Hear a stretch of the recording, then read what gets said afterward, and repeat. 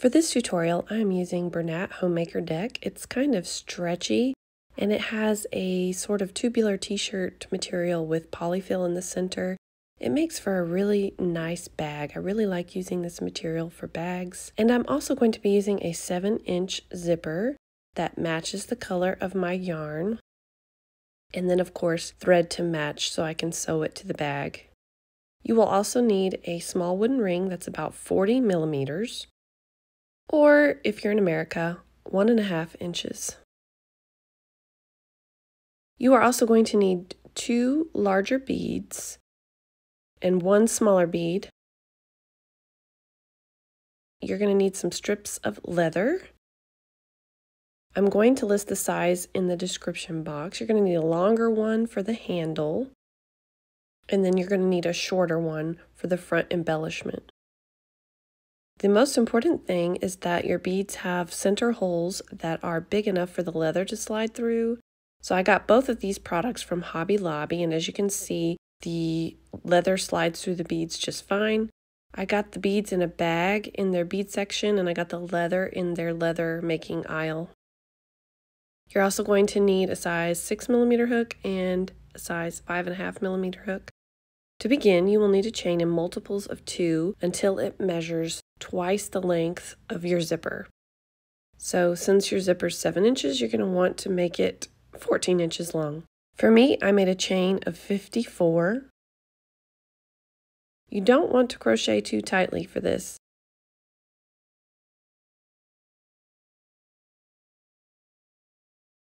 And in the second chain from your hook, make a single crochet. chain one, skip the next chain stitch and make a single crochet.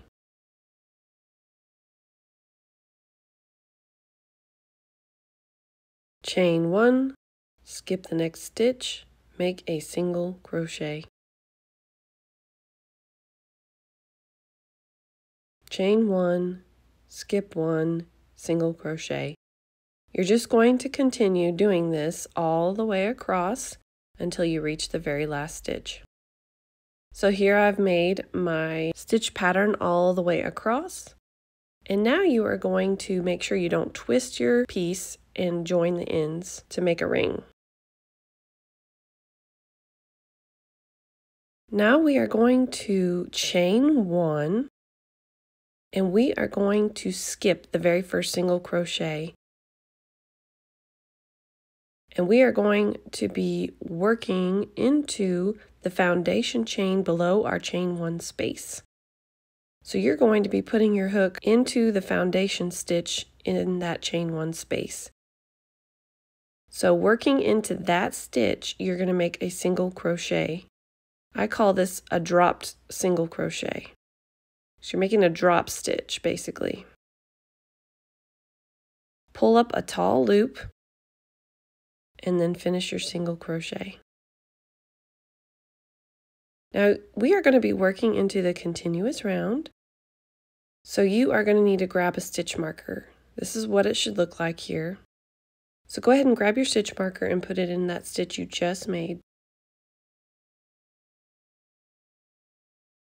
Now you're going to chain one and skip the next stitch. Working into the foundation chain below your chain one space, make a single crochet.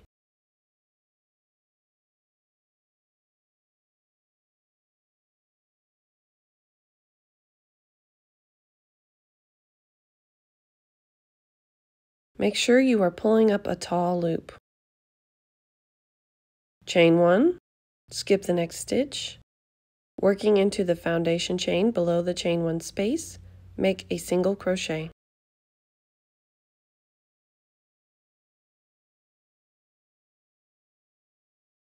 You are just going to continue doing this all the way around until you reach the end.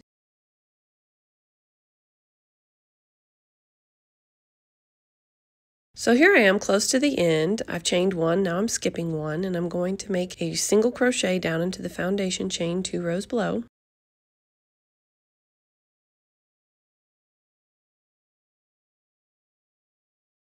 And now I'm going to chain one and I wanted to show you where the last stitch will be made. The last stitch will always be to the right and below the stitch with your stitch marker. So in that very first single crochet that we skipped, you're going to make your last single crochet.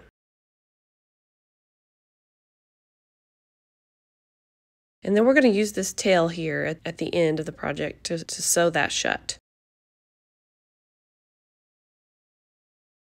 Now we're going to begin round two, so chain one, skip over the stitch with the stitch marker, and going below your chain one space right here, you are going to actually work into the single crochet below. And now you're going to move your stitch marker because we're going to consider that the first stitch of our round.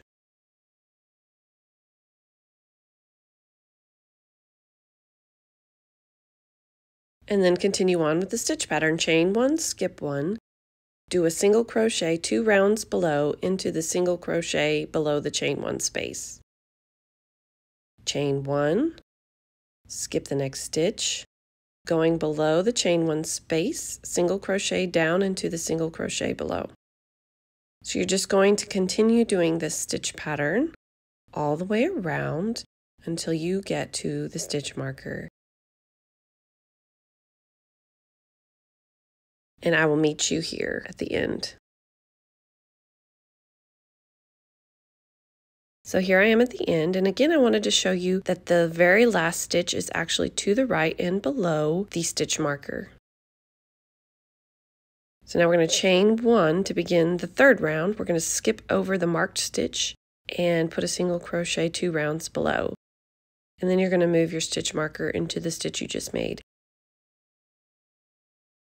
And I wanted to point out that if you notice, your stitch marker is going to move to your left every single time. So now we will chain one skip the next stitch and single crochet two rounds below.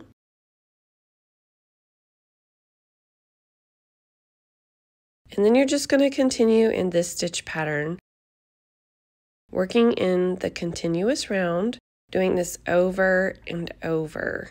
And I wanted to show you before you get too far into the project, it's a good idea to grab your zipper and make sure that it's not too big. It's better for it to be a little too big than too small. So your piece should measure about seven inches and you're just going to continue repeating the stitch pattern until it measures seven inches wide.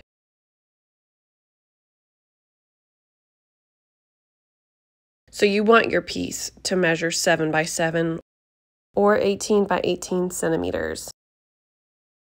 So I wanted to show you, I have my piece completely done. It's 7 by 7 and now I'm going to show you how to finish the top which we're going to close it and make that bottom seam. So I'm going to show you how to do that. What we're going to do is take your piece and line up the stitches of the very last round your single crochet stitches will actually be lined up with your chain one spaces. And then you are just going to take out that stitch marker and going into the very first single crochet of the round, going through both layers, you're going to make a very loose slip stitch. So you're going to go through the chain one space of the next stitch and the single crochet on the other side and do a slip stitch. And you're just going to continue doing this in every stitch across. This is going to create a nice ridge along the bottom. You will just have to be patient. I am actually going through the chain stitches and not just the chain space, but you could go through the space if you wanted to.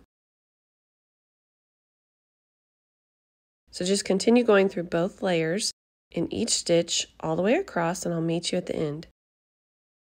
This is what your piece should look like. Now I'm simply going to turn my work, I'm not chaining one or anything, and I am going to go through the bottom one more time.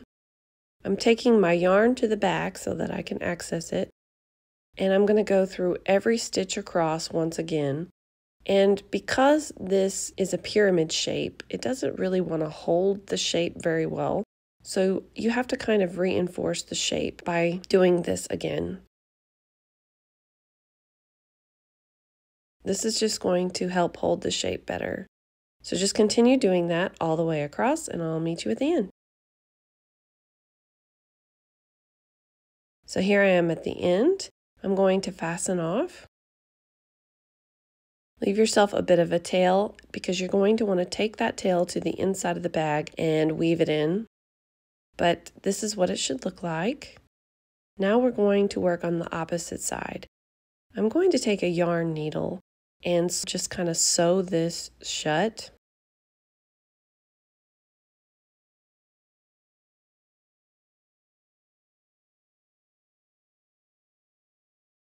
And then I'm going to take the tail to the inside of the bag and weave it in.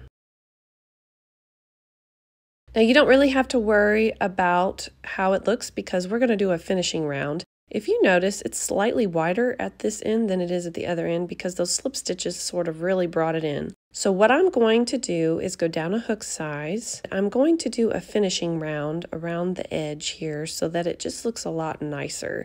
It's kind of got a bumpy look right there at the end where we fastened off. So um, I'm going to do a round of single crochet just to kind of clean it up. So anywhere you want to, you can join and we're going to chain one and do a single crochet in every stitch around. You want to be sure that you still have the same amount of stitches that you started with because you want an even number of stitches to work with. We are going to be folding it in half and we want to have the same number of stitches on both sides of where we fold it. So continue making a single crochet all the way around. And when you are done, you're going to want to make an invisible join. This is going to be where the zipper is showing, so you really want it to look nice. So to do that, you're just going to cut your yarn, and instead of doing a chain one to fasten off, we're just going to pull the yarn all the way through. And then grab your yarn needle and thread your yarn through your yarn needle. And then going through that first stitch, we're going to go underneath both of those loops there at the top of the stitch. And then going to where we came out of, we're going to go through the back loop only there. And we're going to take the yarn through there. And then that's just going to make it look so neat. It's called an invisible join. And then you're just going to take the yarn underneath that last stitch on the back loop there and then weave your tail really, really well because you're not really knotting it off. So to get the pyramid shape, you have this seam here that we made at the bottom of the bag. To make the shape, we are going to sew the zipper in at a 90 degree angle from the bottom seam. So turn your bag so it's on its side and then fold it in the exact opposite direction from the bottom seam.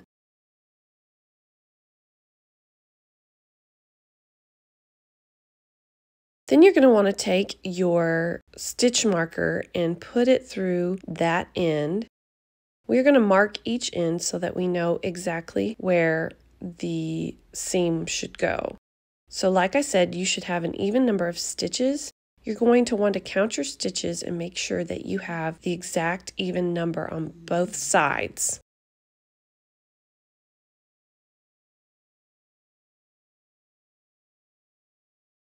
This is what your piece should look like and you need to be real sure that you have it exactly 90 degrees to the bottom seam so that it makes the nice pyramid shape.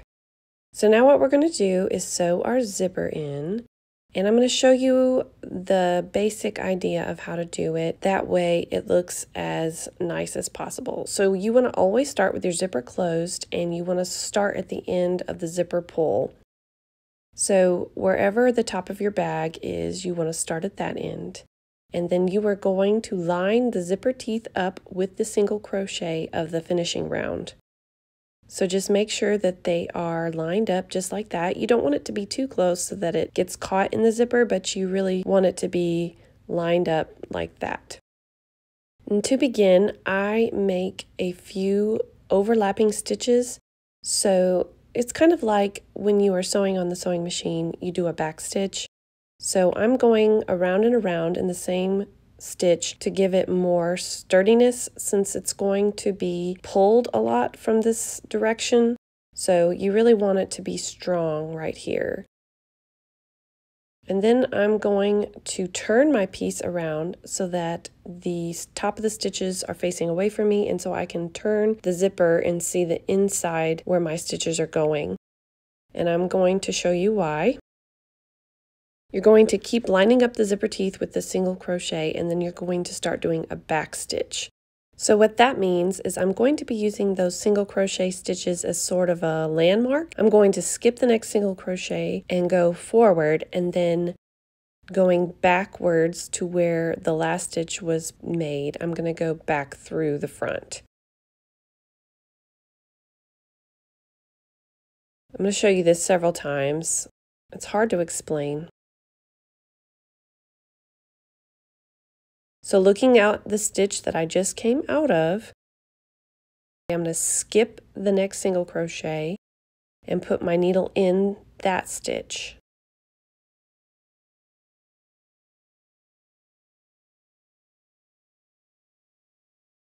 And then I'm going to look at the stitches below and go backwards and go back into the stitch where the last stitch was made.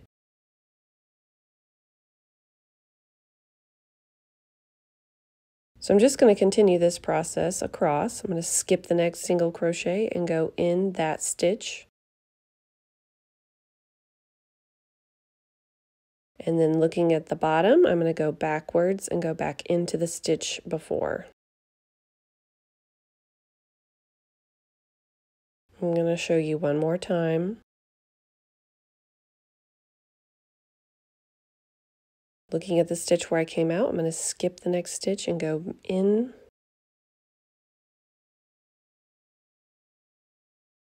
And then flipping the zipper up, I'm going to go back and go into the place where I came out of at the last stitch.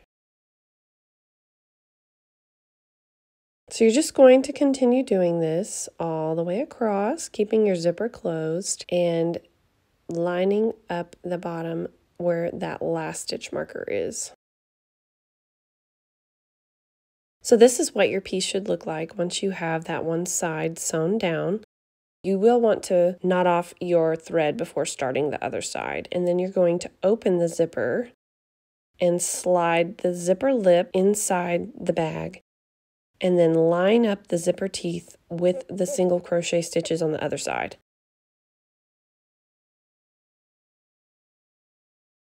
You're going to have to be real careful. You're going to want to do your back stitches sort of underneath the zipper pull. It's a challenge, but you definitely want to make sure that it's secure. So I'm just going round and around in the same stitch a few times to give it a little extra security.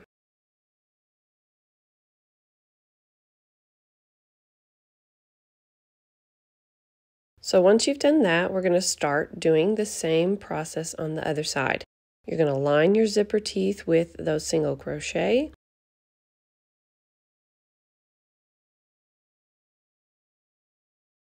And then you're going to look where you've come out and skip to the next single crochet. And then going underneath, going back, and coming out where the last stitch was put in.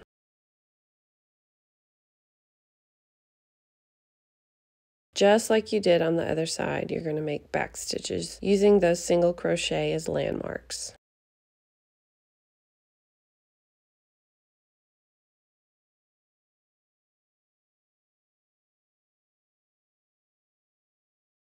And I don't show you this in the video, but every once in a while, while I'm sewing the zipper on, I will close it and make sure that the zipper isn't ruffling. I don't really show you that in the video, but I do close it as I go. That way I know for sure that it's lined up and that it's not ruffling. Because you really don't want your zipper to be ruffled. This is going to be the front of the bag. So here you can see I've got the majority of the bag sewn in. It's not ruffling, at least not too terribly bad. And I am going to show you one more thing about the zipper. The zipper lip right here, this little excess, it will get caught in your zipper and poke out if you don't sew it down. So what I do is I fold them uh, like a crisscross and then I just sew them to the top of the bag there together so that it sews it down and doesn't get caught in the zipper or poke out of the front of the bag.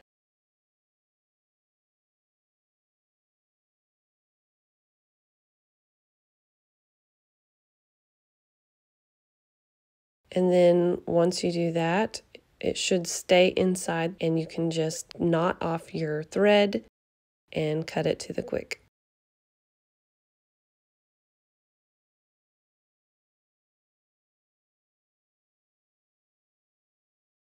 So now I'm going to show you how to add the front embellishment and we're going to start with the shorter piece of leather and your 40 millimeter ring.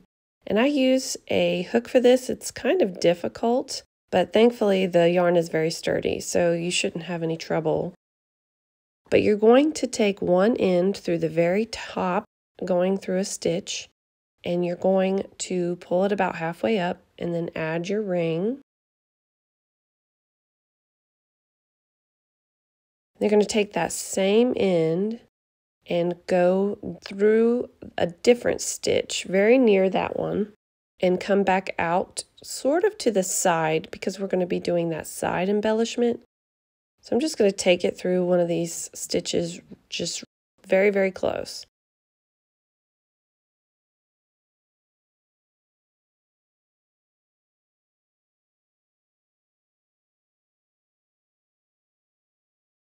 And then in order to do the embellishment on the side, I need my leather strips to be parallel.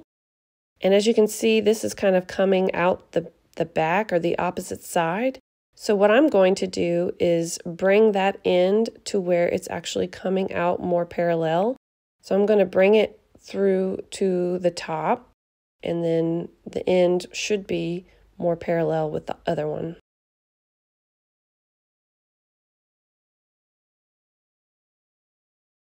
So as you can see, they're very close, but they're not coming out of the same spot. And they are parallel to one another. And we're going to do some square knots. This is actually macrame, but this will hold it together and make it look really cute. So going with the left strand underneath the right strand, we're going to take that end through the same little hole that you created, and we're going to pull up. This is only half of the square knot, so bring your strands parallel to one another once again, and going with the right strand underneath the left strand, I'm going to create that box. Take that very same end and go through that box.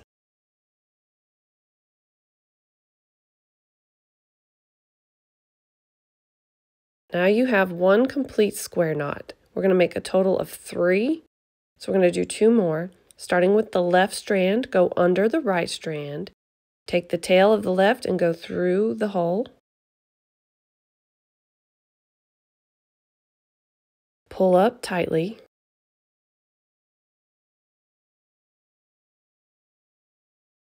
And then take the right strand, go under the left. Take the tail end and go through the hole. So this is two square knots that we've just completed. I'm going to make one more. Using the left strand, go under the right and take that same tail through the hole.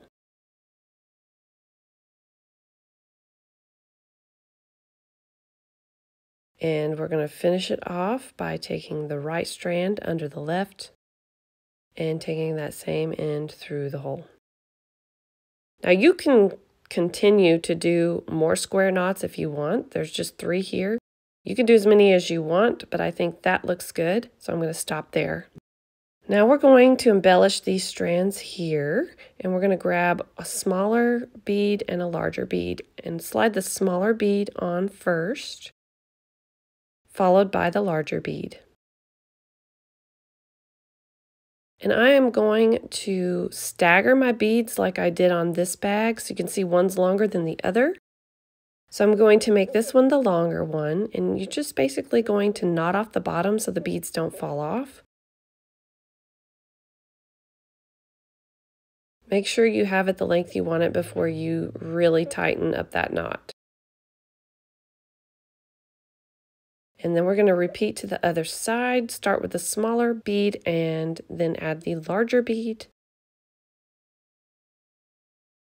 And I'm going to make the larger bead at the same level as the smaller bead on the other strand so that they're staggered. And so you're just going to knot off the bottom there.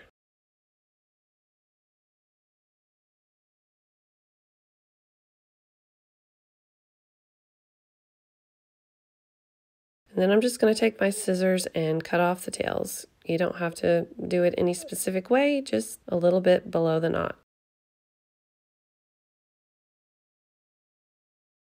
And that's the front embellishment. Now I'm going to show you how to make the handle. So take your long strand of leather and take one end through the wooden ring. Bring both ends so that they are even. And then bring your fist down to the wooden ring and act like you are going to make a knot.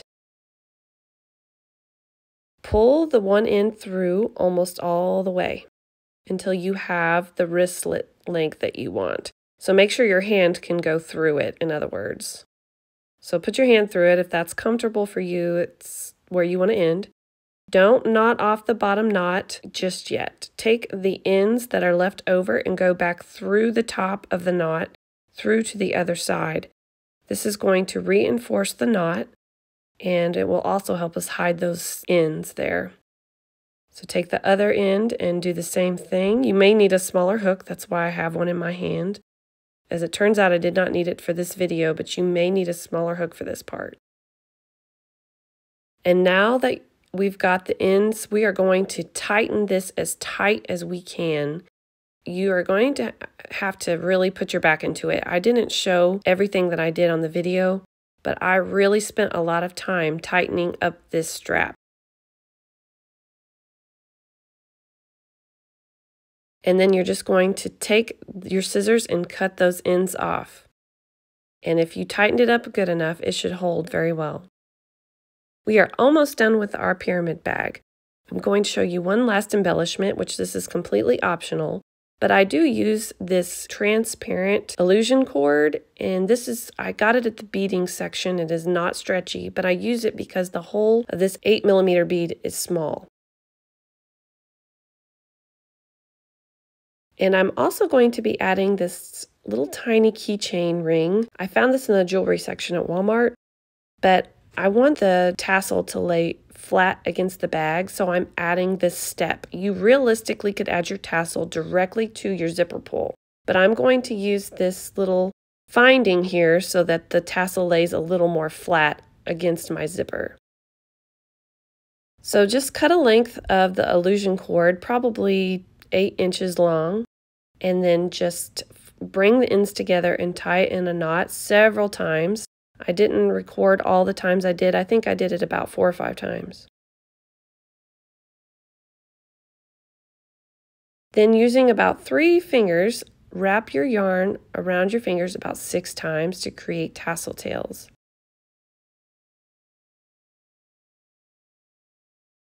Set them aside, grab your bead and put it on both ends of your monofilament illusion cord and slide it up to the top. And then take both ends at the bottom and open them. So just grab both ends and open the tails and then take your tassel tails that you created and put them in in the middle and then tie your illusion cord around the tassel in the center. You're going to want to tie it several times to secure. And the great thing about this illusion cord is you can just cut it right to the quick. And also, I don't like my tassel to be going every which way. I like it to look a little more clean. So cut a length of yarn about five inches long and use a gathering knot to secure those tassel tails. I'll show you how to make a gathering knot. Just watch me carefully.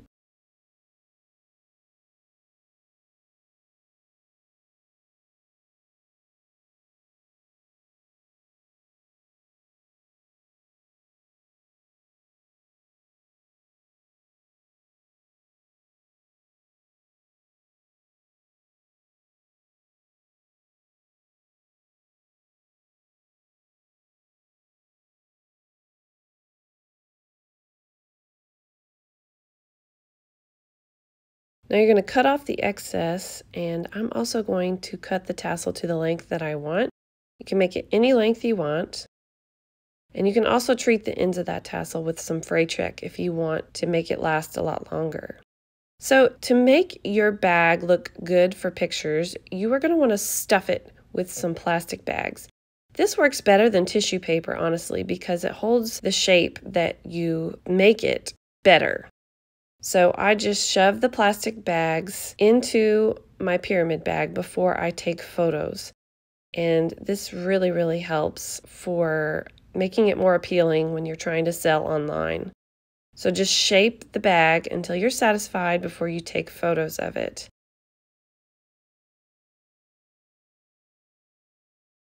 And that is it. Your pyramid bag is done. I hope that you enjoyed this tutorial today. If you did, please give it a thumbs up. And if you haven't already, please subscribe to my YouTube channel. Thank you so much for watching.